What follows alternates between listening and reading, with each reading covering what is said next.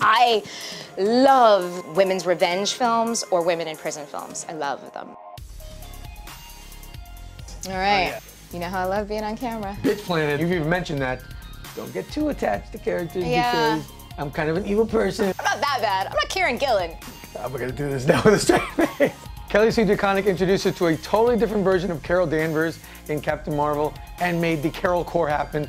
She's also the genius writer behind Bitch Planet. Thank you for joining us today. Thank you. Tell me your thoughts on, on, on seeing that first concept art with Brie Larson in, in the, the costume that came from your run in the book. Yeah, so um, that was really incredible. And I, Brie is a tremendous actress, and um, and I trust her. You know, so I'm psyched. Um, I say that as though like we're tight and we go back. I've never met the woman, but um, but I like her on Twitter. Um, Jamie McKelvie designed that costume. I get a lot of credit for it, and uh, the story of my role in the costume is that they were gonna have it designed in-house. They showed me some designs. I did not like them. I asked if it would be possible to have Jamie do the design. This was kind of a risky book because it didn't have a lot of big names on it, and I was not a big name at the time. Um, and Carol was sort of a B-list character at the time, and so uh, book didn't have a big budget. We're like, we don't have extra money to get an outside design done, and I was like, whoa, what if I paid Jamie to do it?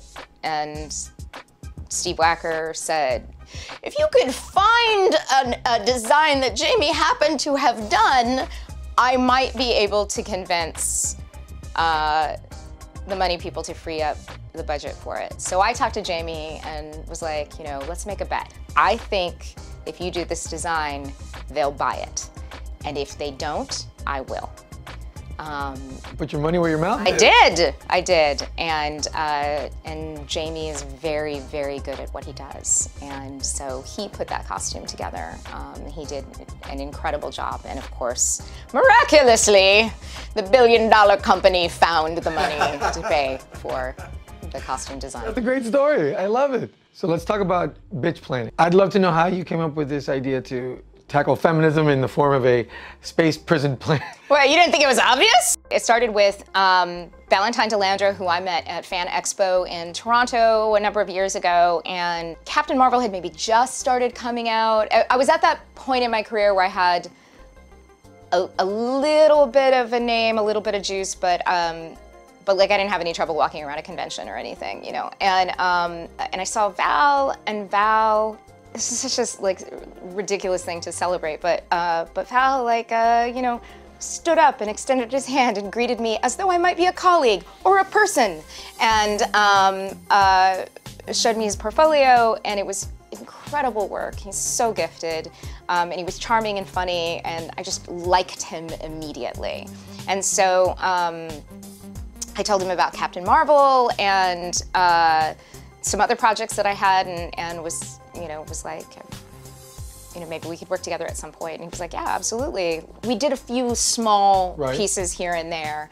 Um, and at some point, Val was like, you know, we don't have to wait for them to give us a book. We could do a creator-owned book. And I was like, you know, I didn't know that was what you were into. And uh, so I sent him a list of uh, what I call sweater threads. Like I, I keep a list of things that I think there's a story here. Um, so I sent him my list of sweater threads and was like, you know, are any, any of these appealing to you?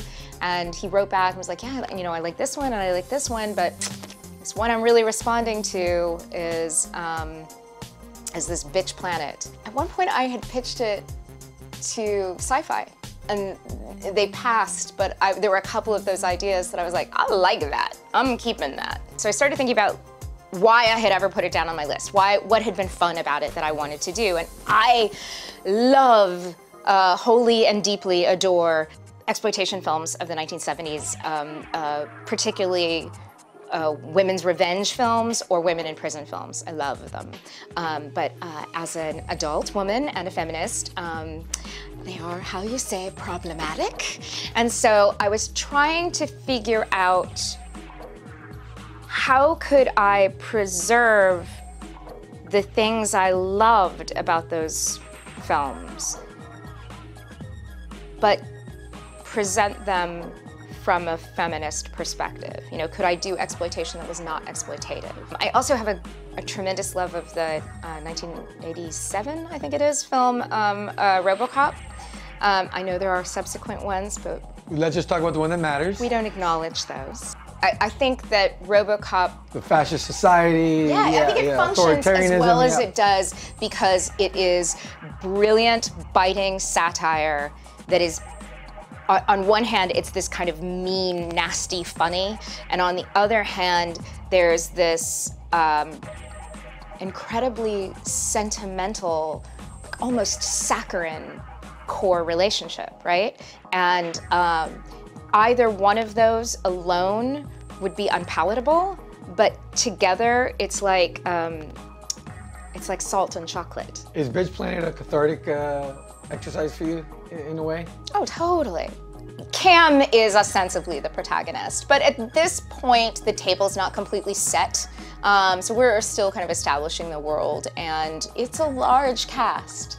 Um, and what has been really fascinating to me, um, Penny Rolle is everyone's favorite. Like, hands down, everyone's favorite She's awesome. yeah. I didn't expect her to resonate the way she has with people who don't look like her at all.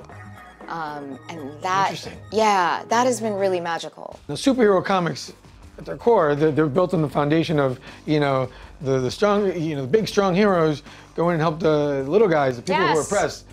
Essentially, what feminism is about. Yes, right? exactly. This is this is always when people are like, "Would you please get your politics out of my comic books?" I'm like, "What comic books are you reading?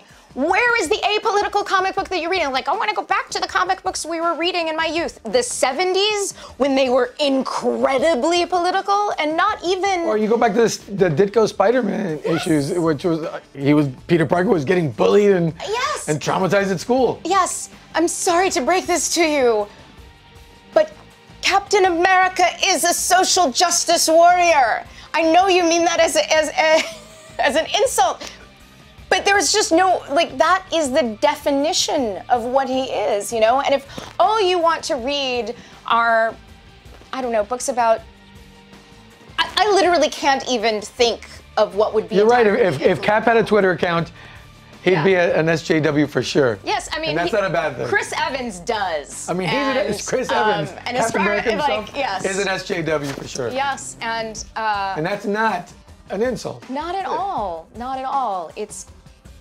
he- he- may I curse? Yes, you can curse. yes, he gives a. F- you know, like he cares about people who don't happen to be wealthy actors. Um, uh, he cares about people who weren't born with the privilege that he was born with. Um, and that is what Captain America does. Captain America stands up for what I think we wish this country would was. You know, I think the, the, the ideals that we have always stood for, but not always acted on Right.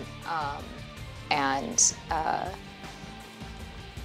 and if you don't like my politics, don't buy my book. Problem solved. You know, you don't like my Twitter feed?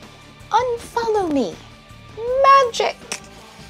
You know, I didn't come into your house and yell at you. You gotta seek me out. So don't.